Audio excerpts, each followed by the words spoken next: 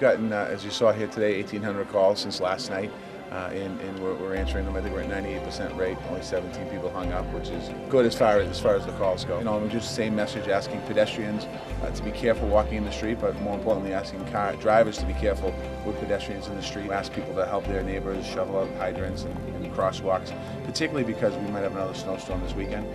If the if the crosswalks aren't shoveled out and, and the handicap ramps aren't shoveled out, then they're going to freeze up and it'll be impossible to get on Sunday night. The issue here is that it hasn't really stopped snowing. So even though the street might be plowed, people feel it hasn't been plowed.